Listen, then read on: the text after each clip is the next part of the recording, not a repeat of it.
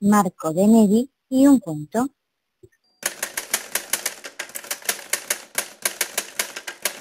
Escritor argentino, aportó dos atributos a la novelística de su país, ingenio y humor. Puede contarse, sin ningún género de duda, entre los narradores contemporáneos más destacados. Marco de Nevi es autor de una riquísima obra, sólida y deslumbrante, integrada por novelas, cuentos, guiones de televisión y obras de teatro que en su mayoría han permanecido ignoradas por el gran público. Irrumpió en el panorama literario con Rosaura a las 10, adaptada al cine en 1957. Cuentista brillante, pensador agudo e irónico, de Nevi escribió numerosos cuentos, uno de ellos, trascendental, Ceremonia Secreta, adaptado también al cine en 1968. Otras obras suyas de ficción son Falsificaciones, Un pequeño café, El amor es un pájaro rebelde, El emperador de China.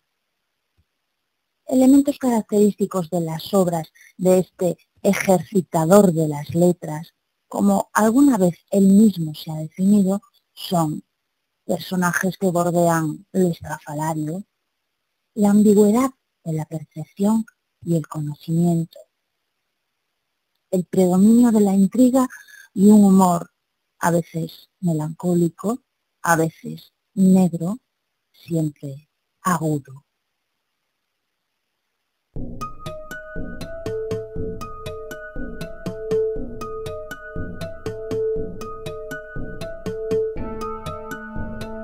La señora Smithson, de Londres, estas historias siempre ocurren entre ingleses, resolvió matar a su marido. No por nada, sino porque estaba harta de él después de 50 años de matrimonio. Se lo dijo, Tadeus, voy a matarte. Bromeas, Eufemia, se rió el infeliz. ¿Cuándo he bromeado yo? Nunca, es verdad. ¿Por qué habría de bromear ahora? Y justamente en un asunto tan serio. ¿Y cómo me matarás? Siguió riendo Tadeusz Smithson. Todavía no lo sé. Quizá poniéndote todos los días una pequeña dosis de arsénico en la comida. Quizás aflojando una pieza en el motor del automóvil o te haré rodar por la escalera. O aprovecharé cuando estés dormido para aplastarte el cráneo con un candelabro de plata. O conectaré la bañera a un cable de electricidad. Ya veremos. El señor Smithson comprendió que su mujer no bromeaba.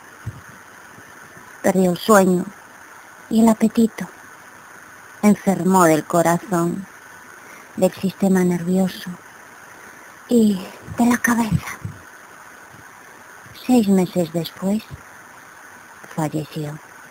Eufemia Smithson, que era una mujer piadosa, le agradeció a Dios haberla librado de ser una asesina.